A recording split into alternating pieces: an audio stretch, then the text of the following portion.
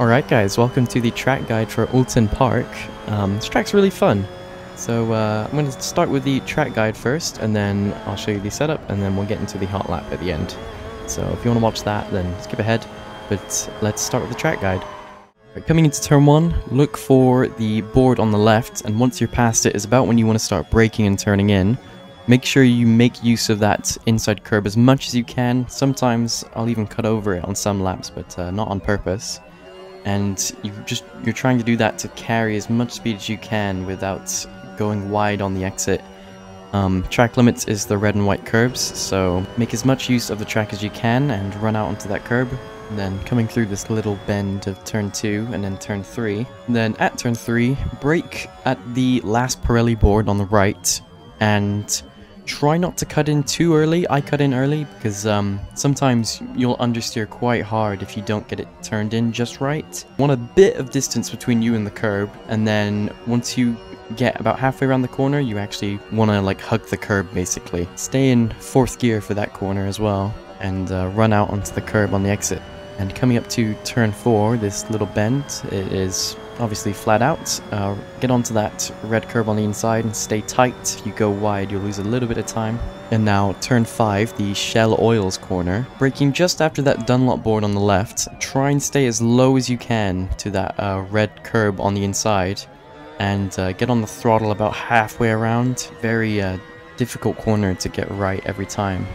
Now coming up to the chicane, there's a little grey square on the right which you can use as a reference. Sometimes I'll brake later than it, sometimes I'll brake on it.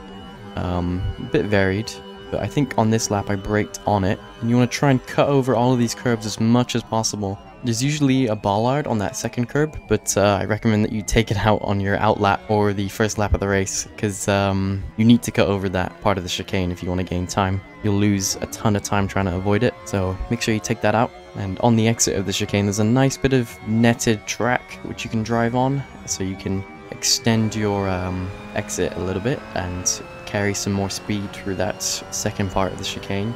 Now coming to turn 10, you want to brake before you get to that second red curb because it's quite bouncy here. So you want to brake quite early and turn in really early as well. You can carry a lot more speed than it feels like around that corner if you get used to it. Once you get really confident on this corner, you can turn in quite early and carry a ton of speed through.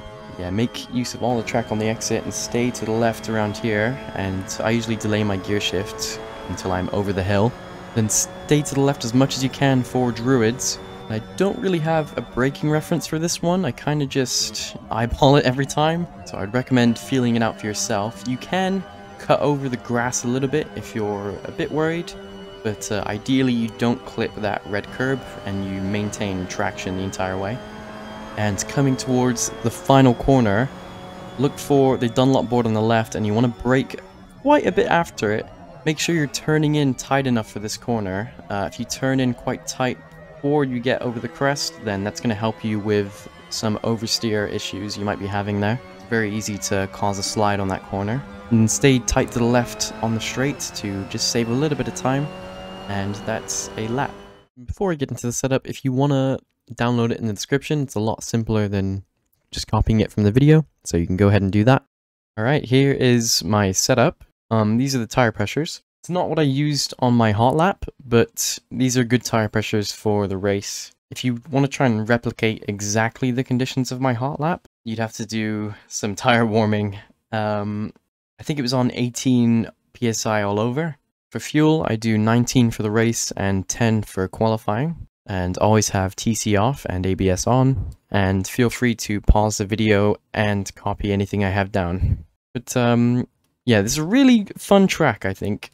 You can run it really aggressive and soft on this track, and it makes the track really fun because you can just uh, turn in and, and it'll uh, and it'll stick. All right, we'll get into the hot lap now, but before we get into the hot lap, like usual, I just want to say thank you to all of the channel members. And if you'd like to become a channel member, then it is in the description or it's the join button next to my channel.